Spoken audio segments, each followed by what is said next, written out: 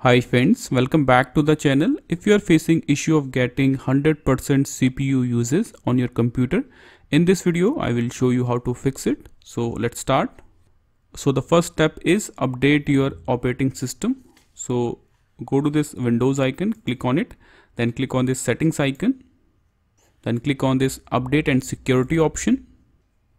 So as you can see, in my case, my laptop is up to date make sure you are using a updated operating system. Just click on this option check for updates. Basically this will fix any of the bugs that are currently being in windows. So always update your operating system. This is your first step. Now move on to our next step. Disable startup apps. So this is the second step you can apply. Disable all the startup apps.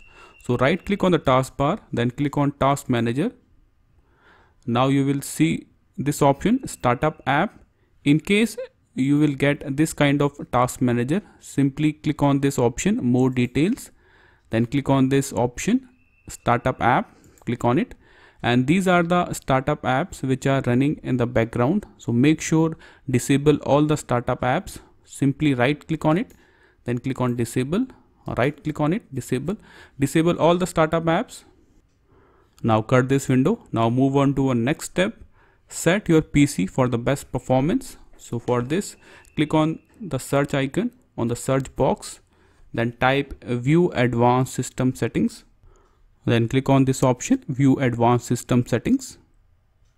Now select the third tab advanced and in the performance column click on this settings option. Now select the third option adjust for the best performance select this option. Now enable some features. Enable these five features. Then click on apply. Then click on ok. This option will increase your pc performance. Now move on to a next step system configuration. So go to this uh, search box again and type system configuration.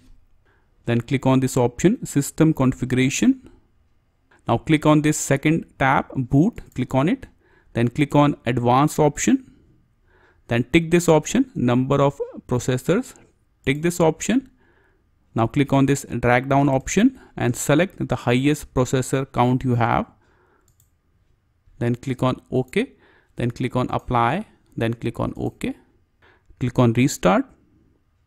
Now move on to a next step, set the power plan. So for this, open the control panel or you can go to this search box and type control panel. Then click on control panel option. Then click on view by change it to small icons. Then click on power options. If you have more than one power plan always select the default one. So this is the default one balance always select this power plan balanced now cut this window. Now move on to our final step. Run the disk cleanup. Go to this search box again and type disk cleanup. You will get this option disk cleanup. Click on it. Now click on this option cleanup system files. Wait for a few seconds.